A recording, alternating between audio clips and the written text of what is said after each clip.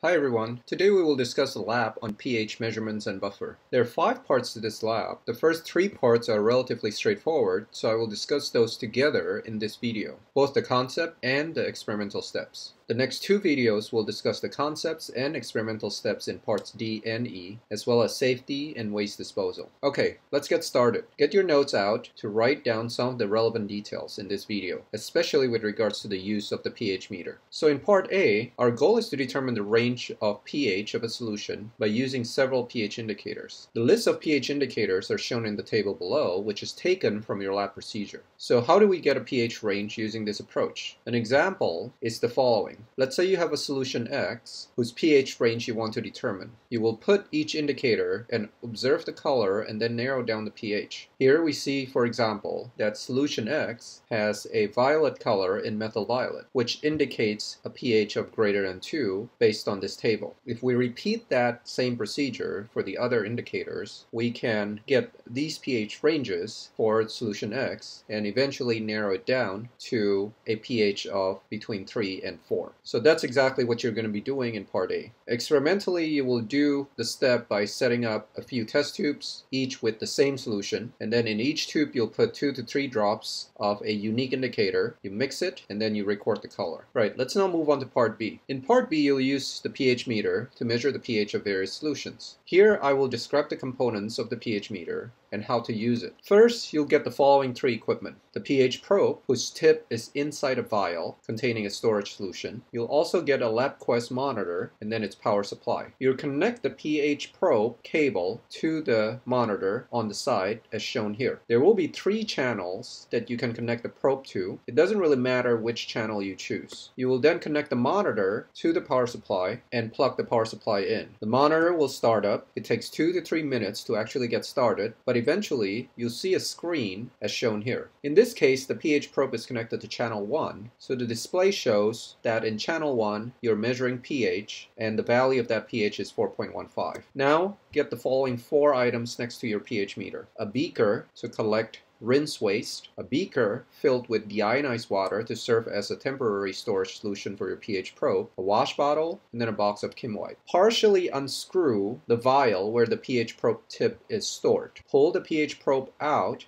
and screw the cap back onto the vial. The tip of the probe is made out of clear glass, which is protected by the blue plastic casing. The glass can break, so you need to handle it carefully. Rinse the tip with deionized water from the wash bottle, and then dab the glass gently with a clean sheet of Kimwipe. Place the tip inside the beaker with the deionized water. Your pH meter is now ready to use. To use the pH meter, take it out from the deionized water beaker and then submerge the tip in a solution whose pH you want to measure, as shown here. Wait until the pH value on the monitor stays relatively constant. Although the value will never completely stop fluctuating, it will slow down to two values, and you can take an average of those values as your pH. In this example, the pH of this solution would be 11.26. Once you're done, take the probe out, rinse its tip with deionized water from your wash bottle, dab it dry with the Kim wipe, and then place it in the next solution that you want to measure the pH of. Or if you're completely done with it, place it back in the deionized water beaker to store. When you're completely done with the pH meter, wash it one last time with deionized water and then dab to dry as before. Place the tip back into the storage solution in the vial that you originally started with. Disconnect all the cables and return the three equipment pieces neatly to where you originally got them. Alright, now we're going to talk about part C of the lab. Here you will calculate the Ka of acetic acid, which is a monoprotic acid, by using its pH and initial concentration. Experimentally, this is actually easy to do. You just get two solutions of acetic acid from the reagent bottles. You then measure the pH of each of these solutions, and then record those in your lab procedure. The question is, how do you get the Ka of the acid from these measurements? Let me show you. Here's an example. Let's say we have 0.1 molar of a weak monoprotic acid with a pH of 3.88. What's the Ka? Well, since this is a weak monoprotic acid,